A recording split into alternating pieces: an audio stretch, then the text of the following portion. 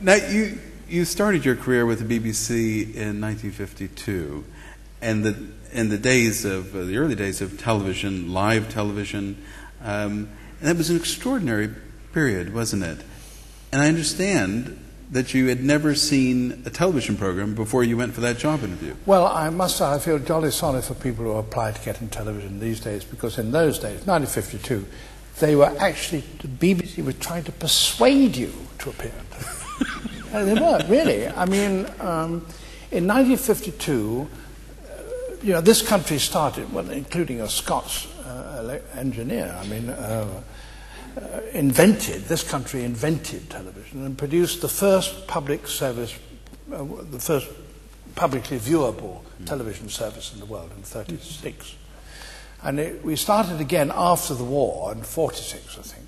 And I joined in 52, so it was effectively only six years old. Mm. Um, and very few people had television sets. Um, the, there was a transmitter in Alexandra Palace in London, which was again the first in the world.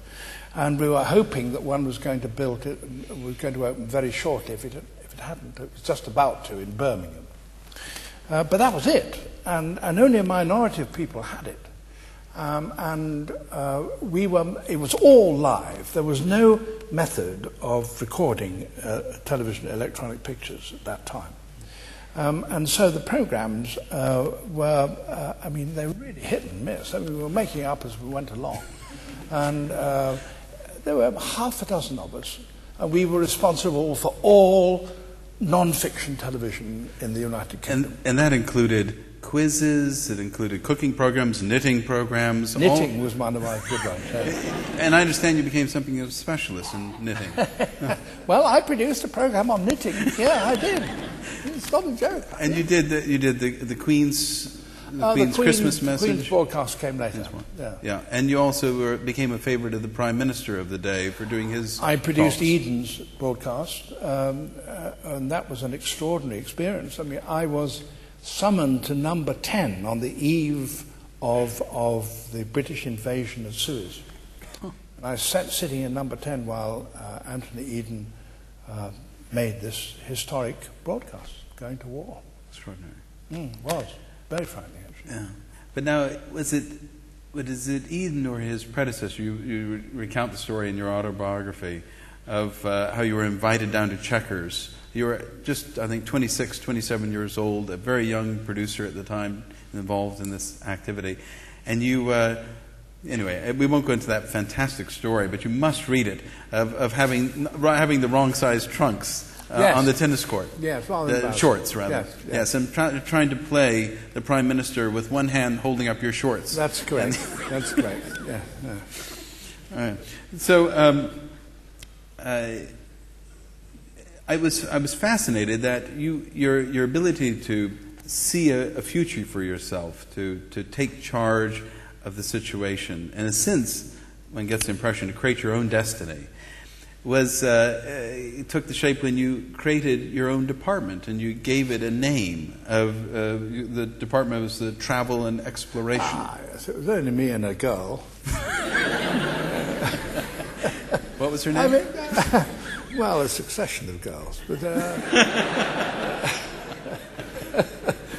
um, no, I mean it was just it was, a, it was fun. I mean, what happened, the, the, half a dozen of us, eventually, as the thing grew, as, we, as more, more viewers meant more license money, more license money meant more programs, uh, and so you had more and more people join the television service, and when that happens, you inevitably start to specialize.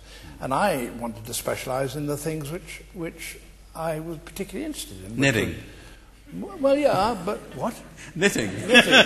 yeah, but but I, yeah, so I got out of knitting, and and started on natural history and travel, uh, which I thought in the end, if I played my cards right, might get me to somewhere interesting, which which I have to say I've been playing that card ever since. and, and these were the days, of course, during when you initiated ZooQuest. Yes.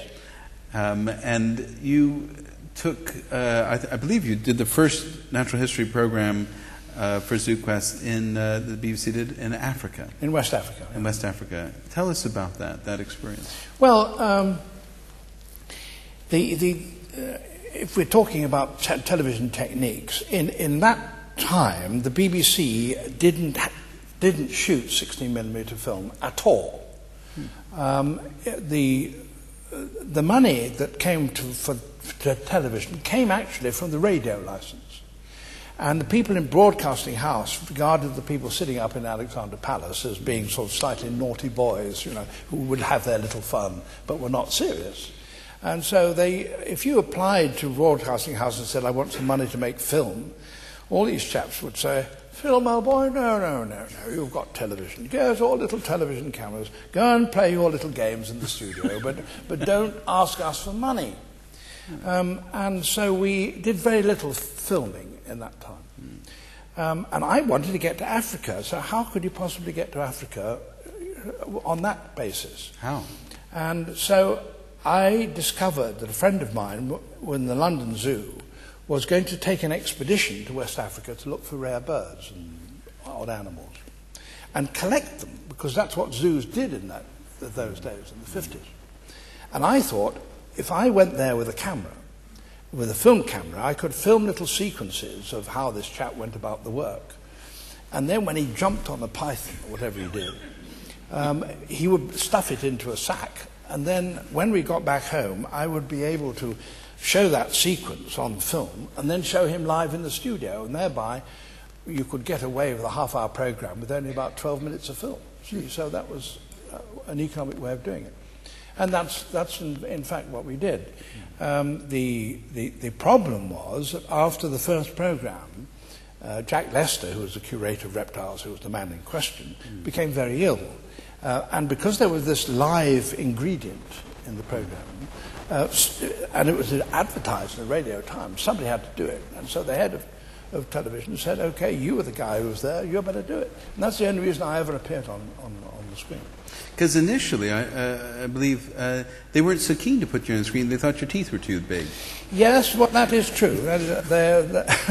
I was in those days. Again, you see, you just hung around the studio and things happened, and I was, um, I was in the studio. Your teeth shrank.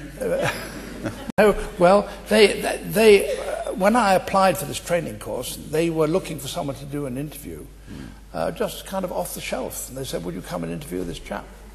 and I interviewed um, uh, a marathon runner, uh, well, or at least a long distance runner, uh, who was an Olympic runner, uh, but he wasn't, he wasn't a brilliant conserva- uh, conversationalist.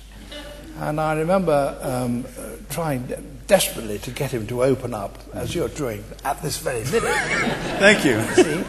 And, and, and, uh, and I said to him, now, I, uh, uh, uh, you are uh, uh, running uh, in the, in, the, in, the, four miles. And he said, yes.